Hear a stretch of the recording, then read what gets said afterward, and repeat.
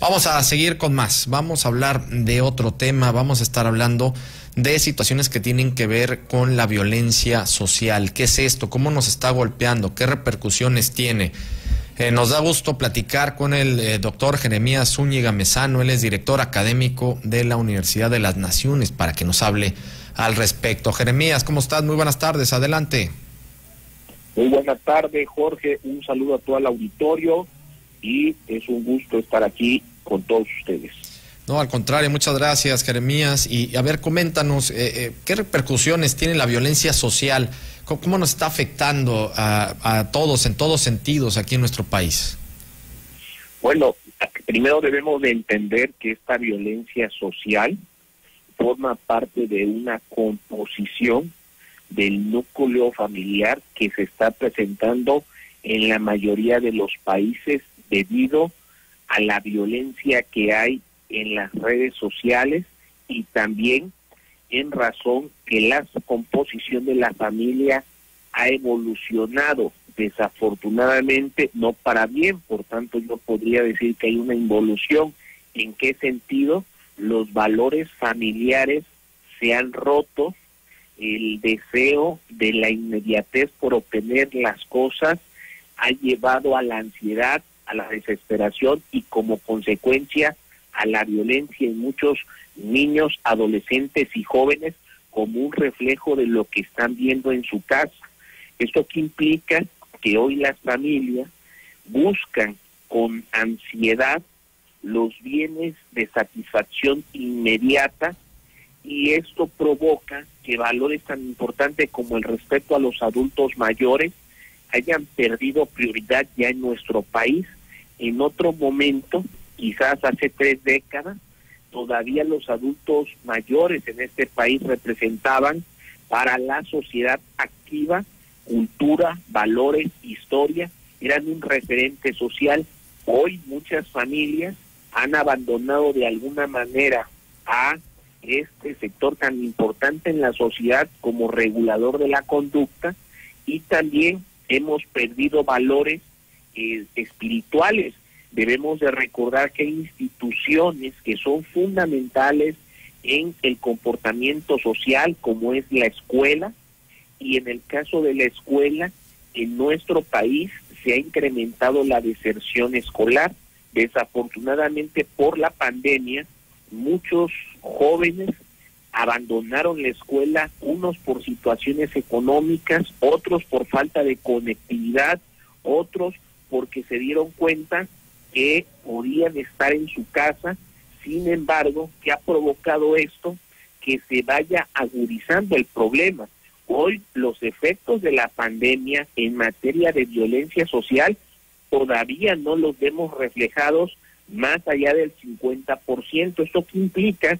Que esta violencia que hay en los videojuegos, que hay en el Internet, va a tener una repercusión mayor porque solo hemos visto la violencia dentro de la familia por este confinamiento que hemos vivido durante la pandemia. Sin embargo, esto tendrá también una consecuencia social y seguramente lo vamos a ver como ya lo percibimos en sectores como el educativo, donde hay deserción escolar, y estos jóvenes, por su naturaleza, no están en su casa.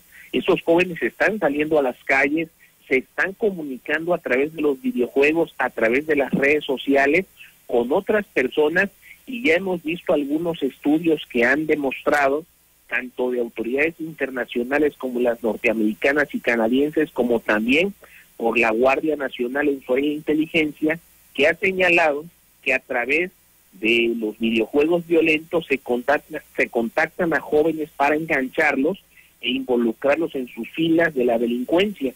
Esta cultura creciente de estereotipos de vida que promueven que para ser feliz, para ser exitoso, para ser popular, tienes que traer un vehículo de cierta marca, vestirte de cierta marca y tener además una pareja con ciertas características físicas o con tal de obtener likes, lo que era antes privado se ha vuelto público. Esto que implica que cada vez hay un exhibicionismo mediático que está prácticamente destruyendo a la familia.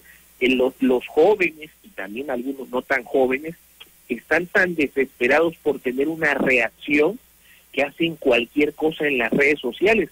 Muchos de ellos han perdido la vida, otros han sido enganchados, algunos de ellos han sido objeto de abuso sexual o de pornografía. Entonces los padres son los principales corresponsables de asumir esa, esa obligación de cuidar a sus hijos, tanto niños, adolescentes y adultos, y nosotros lo que estamos observando, que si queremos recomponer este tejido social, se debe actuar no solo desde las autoridades municipales, estatales y federales, que su obligación es generar las condiciones de seguridad, pero también desde la familia. La familia es un eje central de la conducta social y es muy importante que lo que entendamos que lo que invirtamos hoy en nuestros hijos lo cobraremos en el futuro. Por ejemplo, un hijo que es ignorado por sus padres va a generar resentimiento. Por el contrario, si un hijo todos los días es abrazado por sus padres, les dicen todos los días que los aman, que son importantes, que aprenden a escucharlos, no a juzgarlos, y en su momento también será necesario castigarlos. Esto provocará que podamos recomponer en el futuro la violencia que hoy estamos viviendo. Otro elemento fundamental es la escuela. Y hoy la escuela tiene que ser no solo educadora, sino formadora de valores, cultura e historia. Y lo más importante, que desde las aulas se, eh, se promueva la tolerancia, la convivencia. Afortunadamente, hoy estamos viendo que las autoridades educativas eh, están atentas y abiertas a la inclusión de la participación de la sociedad en este tipo de acciones. Por ejemplo, desde comunidades seguras, nosotros vemos una respuesta y una apertura de la Secretaría de Educación, de la Subsecretaría de Educación Media Superior y Superior, que encabeza el maestro Jorge Miguel Uscanga, que se busca certificar a las instituciones educativas para que estén libres de la violencia. ¿Qué implica libres de la violencia?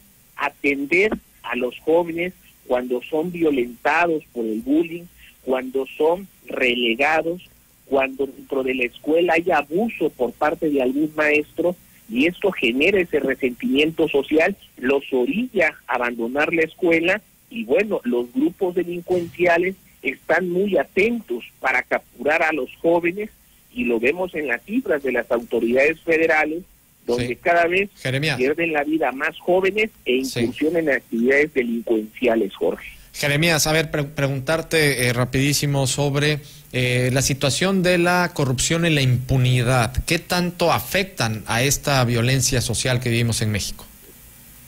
Bueno, el tema de la impunidad, la cifra es muy dura, muy cruda. Desde hace muchos años tenemos el problema de que, que de cada 100 delitos solamente uno llega a una condena. Para resolver eso, ¿qué necesitamos?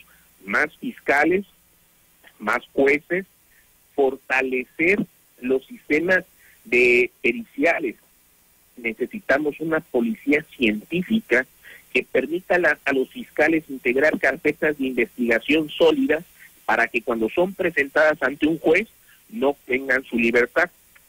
Actualmente hay una carencia y una falta de inversión en las áreas de la policía científica y, y esto lo que provoca que haya una mala integración de las carpetas de investigación y cuando recurren ante un juez o van a una autoridad federal vía el amparo, obtienen su libertad.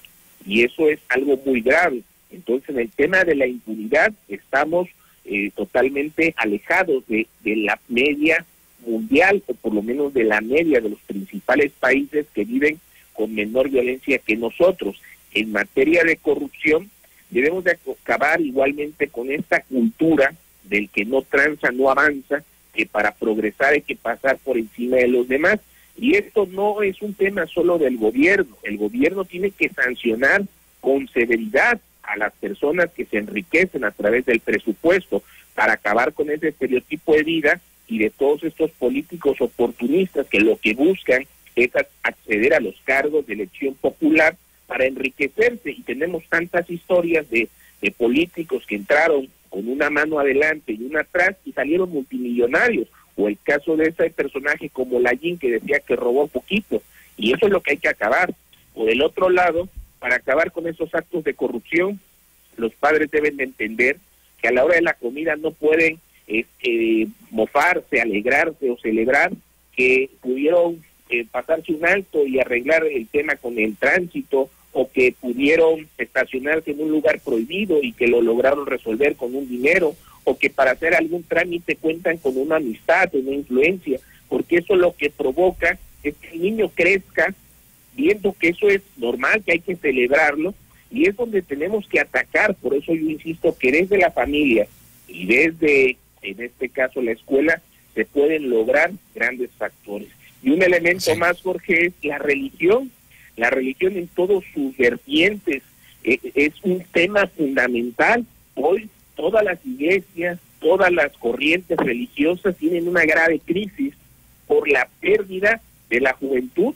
Hoy las iglesias y estas corrientes religiosas o espirituales están llenas de gente muy adulta y los jóvenes se han alejado de este pensamiento y eso también tiene una consecuencia social y se puede ver desde un punto de vista sociológico. Y esto es lo que nos permite ver lo que estamos viviendo. Y un ejemplo aún más grave, pues tan solo hay que ver lo que pasa en Ucrania y Rusia, que esto es una consecuencia de la falta de sensibilidad de algunos políticos y que pareciera que no está vinculado, pero sí lo está porque se esperaba que para el siglo XXI hubiéramos eh, superado este tipo de situaciones. Y otro ejemplo en lo local, pues lo podemos ver con hechos tan cercanos como lo que está ocurriendo en este momento en el Estado de México, con estas protestas o la ejecución de varias personas en el país, lo vimos en un municipio de Michoacán, o cuando hay esta violencia que la vemos en grotesca en redes sociales, pero que además nos equivocamos al compartir estos videos donde estamos viendo ejecuciones, torturas o desmembramientos, y eso lo que provoca es que se impulse ese tipo de acciones. Debemos de rechazarlos y no ser partícipes de la promoción de la violencia. Excelente el tema, Jeremías, te agradecemos muchísimo. Vamos a seguir platicando con ustedes al respecto porque son datos eh, eh, muy claros que nos lleva a entendernos como sociedad qué es lo que estamos viviendo. Jeremías, muchísimas gracias.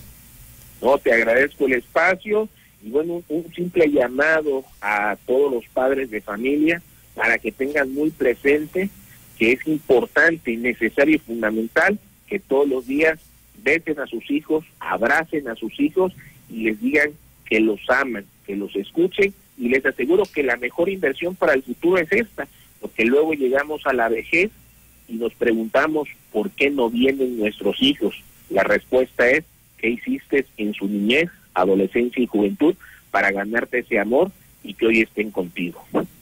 Perfecto, Jeremías, muchísimas gracias. Muchas gracias, gracias Jeremías. por la invitación. Al contrario, muchas gracias al doctor Jeremías Zúñiga Mesano, director académico de la Universidad de las Naciones.